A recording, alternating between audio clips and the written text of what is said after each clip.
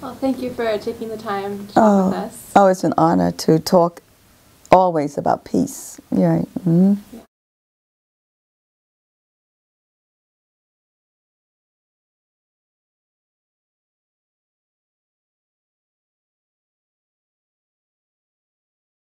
You know, my dear sister, um, one of the things that we've always had to deal with finally as artists is the whole idea of peace. So when you ask the question, you know, at what time did I begin to involve myself with peace?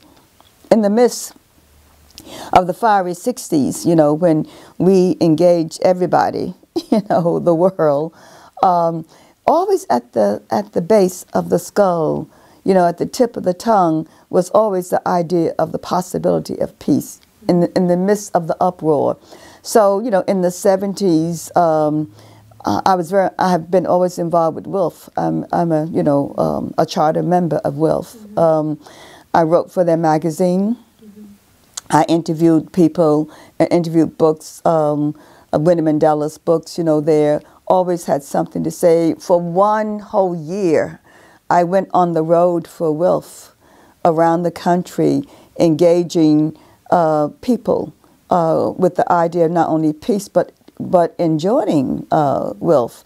And I targeted a lot of people of color who saw it always as a white organization. And so I targeted them to say, you know, for this idea of peace uh, and justice in this country, we've got to really all be in many organizations. Because people would question me, why are you doing this for WILPF, you know? And I said, because I believe in Women's International League for Peace, you know, and freedom, that uh, peace and freedom and justice really go together.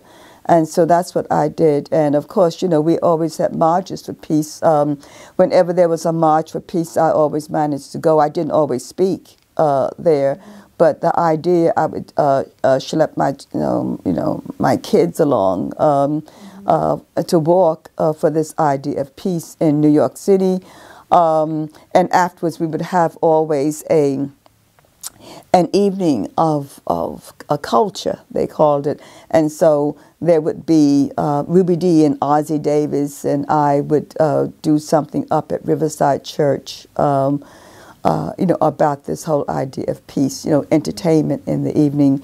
But, um, you know, it's always been there. Uh, you know, as an African American, always at the base of my skull, in the midst of uproar, has been the whole idea that we've got to engage a country and the world with peace. Uh, when you're very young, sometimes um, you don't always combine your effort with change with peace.